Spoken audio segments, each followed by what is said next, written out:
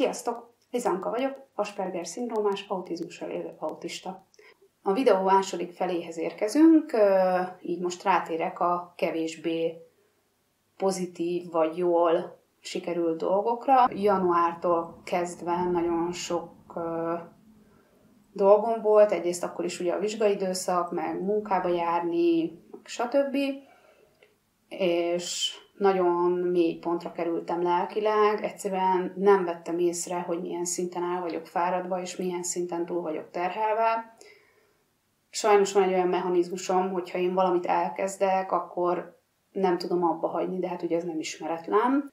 Ennek az egész körnek az lett a vége, hogy áprilisban egyszer csak észrevettem, hogy van egy gyönyörűséges pingponglabdányi daganat a nyakamon, és hát hosszú történet röviden, most vagyok túl a második műtéten, most már lábadozom, de le kellett vonnom a tanulságot. Tulajdonképpen az, ami szerintem mindannyiunkat érint, a mindannyiunk alatt az összes autistát értem, vagy autista szemét, vagy autizmussal élő szemét, vagy Asperger szindrómás szemét, vagy magasan funkcionális, értitek?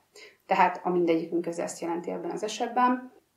Nagyon hamar ki tudunk fáradni a szociális közegben. Sajnos mi magunk sokszor nem veszük ezt észre.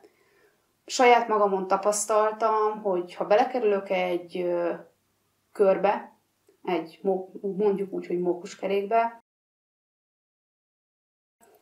nem is veszem észre, hogy elfáradok, nem is tűnik fel, hogy pihennem kellene, és nem is tudom megállítani magam. Talán ebben ez a legveszélyesebb rész, hogy magamat megállítani nem megy. Tehát ilyenkor bizony szükségem van egy külső kontrollra, ami lehet csak egy telefon az anyukámtól, vagy egy barátomtól, vagy bárkitől, hogy most hagyd abba. Lehet az egy jelzés a telefonomba beállítva, hogy most hagyd abba. De ezeket valahogy, valahogy tudtam magamról, de mégis annyira elvittek a mindennapok és a tennivalók, hogy egyszerűen kimaradt és ennek ugye hát nagyon meglett a következménye.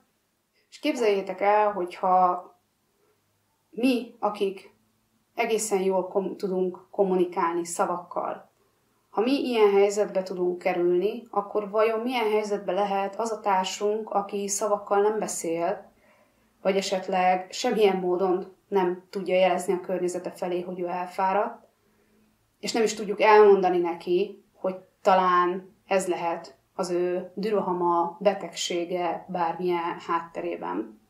Hát nem lehet könnyű. És most kezdtem el így összerakni utólag, hogy valószínűleg gyerekkoromban az a rengeteg légúti megbetegedés, ilyen fertőzések, olyan nátha, tehát ez a nagyon sok szinte folyamatos betegeskedés, ennek a fajta képesség nek a hiányából fakadhatott nagy részt, mert hát nyilván gyerekként sem tudtam jól beosztani a saját energiámat. Nagyon konkrét szabályokat hoztam meg, illetve például az egyik, amit Viktorral közösen hoztunk meg, hogy március 1 és április 30-a között összesen maximum 10 fellépést vállalunk, és beletartozik a tévés megkeresés, az újságnak adott interjú is. És hát szerencsére az évnek 12 hónapja van, tehát nem, nem csak ez a két hónap, de pontosan tudjátok ti is, meg tudjuk mi is, hogy, hogy, az á, hogy a március vége és az április az sokkal preferáltabb ilyen szempontból.